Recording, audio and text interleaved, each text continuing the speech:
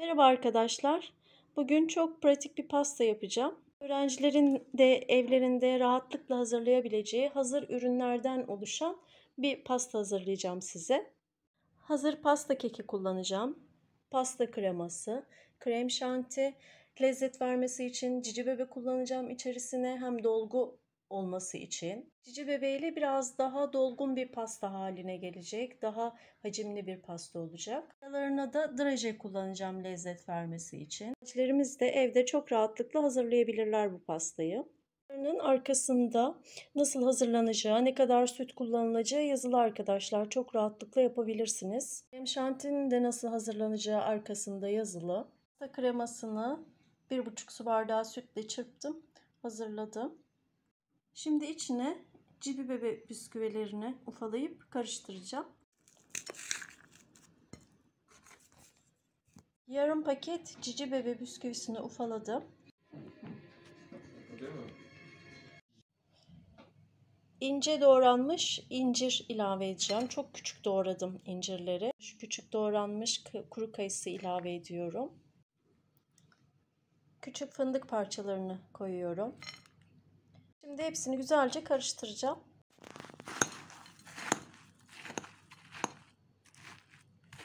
Kreması, cici bebe bisküvisi, kayısı parçaları, incir, kuru incir parçaları ve fındığı güzelce karıştırdım arkadaşlar.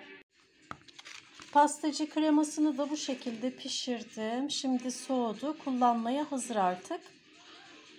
Pasta kekini çok az sütle ıslatacağım yumuşak olması için şöyle ıslattım keki. Islatmış olduğum kekin üzerine önce pişirmiş olduğum pastacı kremasını koyacağım.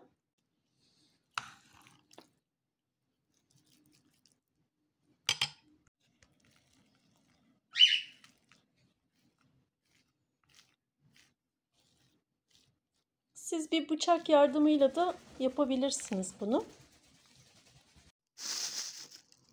Pastacı kreması biraz katı oldu. Ama pastanın daha tok olmasını sağlar. Şimdi üzerine daha önce kendi hazırlamış olduğum drajelerden koyacağım. Siz isterseniz hazır çikolata da kullanabilirsiniz. Damla çikolata da koyabilirsiniz içerisine. Drajeleri koydum. Üzerine hazırlamış olduğum pasta kreması, cici bebe, kuru kayısı, kuru incir ve fındık karışımını koyacağım.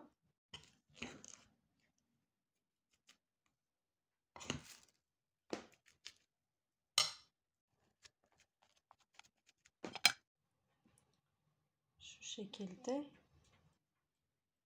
üzerine ilave ettim. Diğer kek parçasını da hafifçe sütle ıslatıyorum. Kakaolu krem şantiyi de sütle çırptım. Paketin üzerindeki ölçüye dikkat ederek yapabilirsiniz. Şimdi bu kakaolu krem şantiden e, diğer boş olan kekin üzerine biraz süreceğim.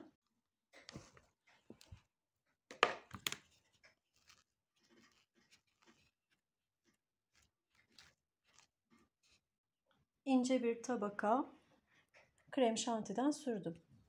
Şimdi üzerine Elimde draje vardı. Kahvenin yanında yediğimiz. Onlardan üzerine koyacağım.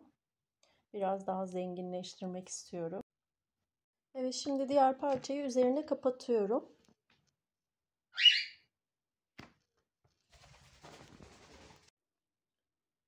Evet bakın oldukça dolgun bir pasta haline getirdik.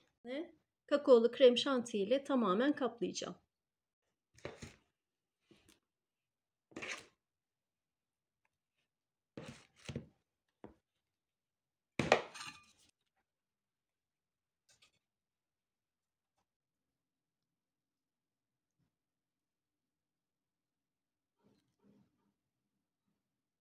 Pastamızı krem şanti ile sıvadık.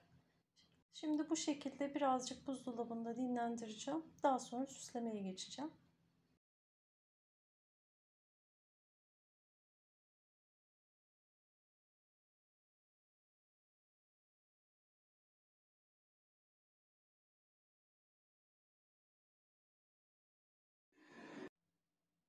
Pastamız hazır.